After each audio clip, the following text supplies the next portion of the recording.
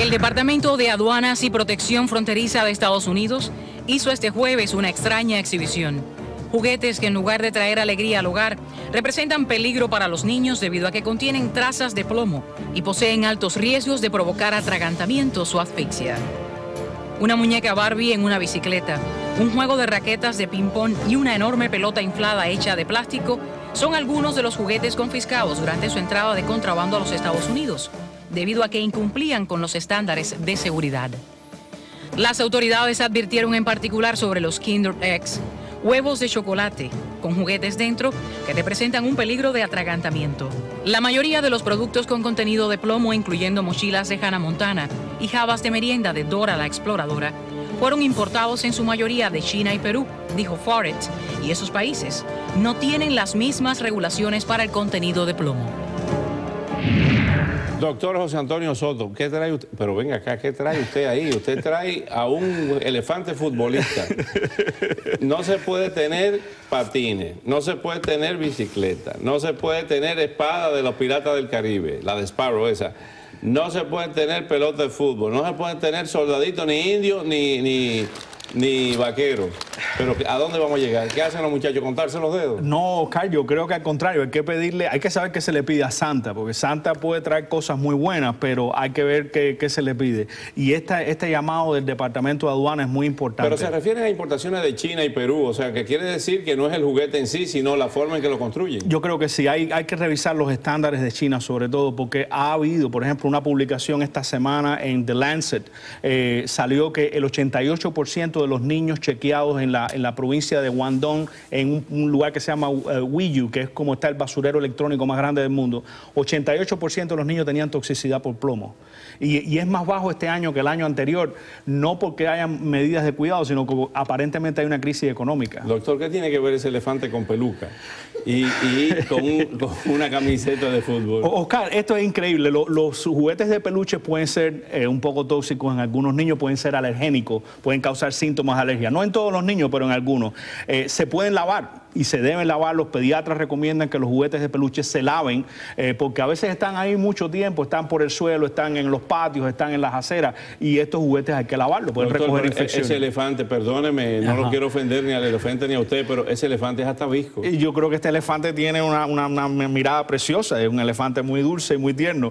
Sin embargo, Oscar, mira, juguetes seguros, los juguetes deportivos. Casi todos los juguetes deportivos en general son juguetes seguros. Se Bola puede- de básquet, bola de fútbol. Exacto, pelotas, etcétera. Generalmente no eh, Pero son aún así, con la pelota de béisbol rompen vidrios y dan un batazo. Así mismo, hay que tener cuidado del tamaño del juguete con la edad del niño. Por ejemplo, si son niños chiquitos, son niños entre 4 o 5 años, este juguete puede ser extremadamente peligroso. Igual puede ser peligroso las bolsas. Los niños nunca deben ir a la cama ni jugar con estas bolsas puestas porque se pueden asfixiar asfixiar. jugando a ser astronautas o jugando a ser exploradores. Es muy importante también, Oscar, que eh, tengan cuidado con los trampolines. Los trampolines son muy peligrosos, han producido múltiples lesiones. eh, eh, así, esto ha sido publicado. También con los patines que son en línea, estos patines que las ruedas van una detrás de otra en lugar de cuatro ruedas. Hay más caídas y más lesiones de los tobillos, las rodillas, las muñecas. Los niños que se les compre patines o que Santa les traiga patines a los niños deben eh, siempre comprársele aparte eh, muñequeras, cascos y rodilleras que los ayudan a evitar eh, lesiones serias. Dicen que hay un juguete para niños pequeñitos muy peligroso, que es nada más un pato de madera. Lo que pasa es que tiene un cordón de 33 pulgadas. Y hay niños que se han estrangulado con él. La cuerda es una de las cosas más eh, peligrosas que puede haber en la cama, sobre todo del niño. Aunque los niños eh, no deben jugar fuera de- de- de edades donde ya tienen un control mejor. Hay que tener mucho cuidado con las cuerdas, las pitas de los trompos, las cuerdas de saltar o las suizas que también le decimos. Son objetos que pueden enredarse en el niño y pueden causar la asfixia, eh, muchas veces fatal. Son cosas que hay que tener en cuenta. Otra cosa, Oscar, es el contenido de plomo y esto eh, está en las pinturas de los juguetes. Los niños no deben meterse estos juguetes en la boca si eh, realmente hay sospecha de que o no hay certeza de que estos juguetes están libres de plomo. Realmente esto puede acumularse en el organismo y puede producir una enfermedad eh, que se llama saturnismo y que eh, eh, no, el plomo no se elimina naturalmente del cuerpo. Habría que darle un tratamiento especial a los niños. Saturnismo. ¿se Saturnismo. También otra de las sustancias que ha sido un poco más riesgosa está en las pinturas de algunos juguetes, se llama cadmium y es una sustancia radioactiva. Hay que tener cuidado, claro, nuestras aduanas son muy responsables, los estándares de Estados Unidos son muy altos en juguetes y cualquier de estos productos que venga de una compañía americana usualmente son seguros. Otro tema muy peligroso y se usa, puede ser juguete y puede ser diversión, las dos cosas, son los famosos fuegos artificiales. Los fuegos artificiales, las velas romanas, eh, y hay padres que dejan a los niños solos jugando con, los fuegos artificiales. Es cierto, Oscar, y los fuegos artificiales ocurren mucho de noche. De noche, si se va a montar bicicletas o patines, es bueno llevar alguno de estos materiales que son reflectantes, aparte de las luces de las bicicletas. Hoy en día en Estados Unidos es un estándar que las bicicletas deben traer uno de estos materiales en, eh, eh, el frente y uno en la parte de atrás. Sin embargo, sería bueno, algunos de estos se pueden poner, colgar o pegar en diferentes partes del cuerpo y dan una visibilidad adicional, además del casco que es tan importante. Conclusión, que lo mejor es no montar bicicleta de noche. Eh, yo creo que montarla en un lugar seguro con las medidas de precaución, los niños de noche en la calle con bicicleta, me parece que es un riesgo innecesario. ¿Qué pasa con los inofensivos, soldaditos indios contra bandidos, eh, cara pálida contra Pache, ¿qué es eso?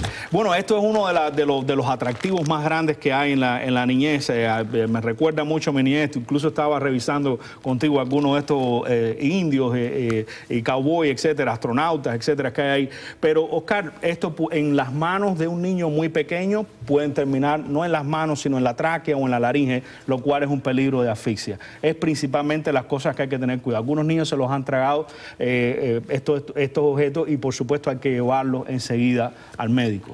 Otro tema, el tema de los viajes. Sí. La ansiedad en los viajes, la falta de preparación en los viajes.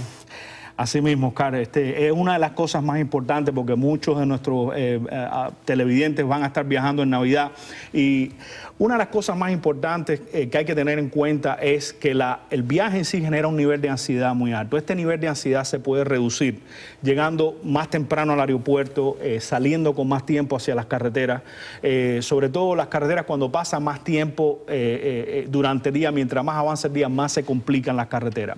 En los aeropuertos sería bueno llegar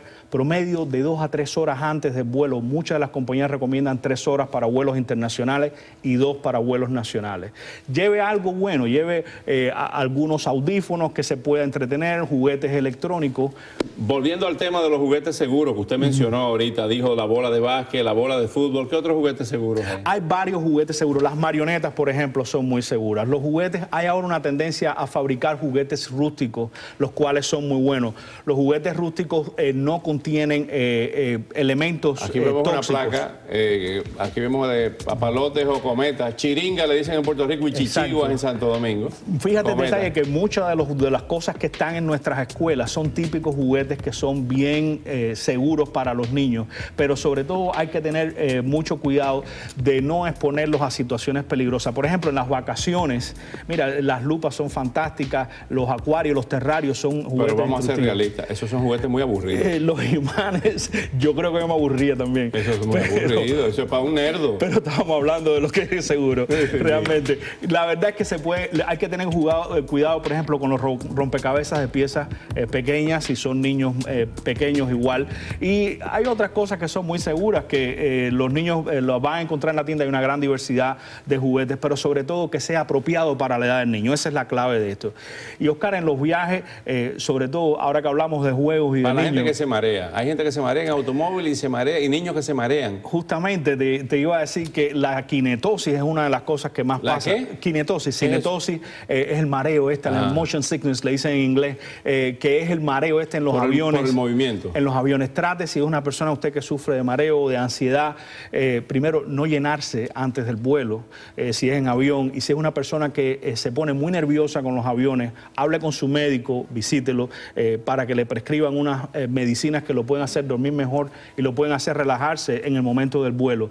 Eh, recuerde también llegar con tiempo al aeropuerto y hidratarse. Es muy importante que se hidraten las personas antes y durante los vuelos porque hay riesgos de trombosis en los vuelos, sobre todo que son muy prolongados. Pueden eh, producirse coágulos en las piernas. Entonces, si son personas con problemas de insuficiencia cardíaca, son personas muy mayores, eh, personas con problemas circulatorios, primero no deje sus medicinas nunca, llévelas consigo, lleve papel, documentación de sus medicinas, su seguro médico, muy importante donde vaya, llevar su seguro médico y documentación de su enfermedad para que eh, tenga un viaje seguro.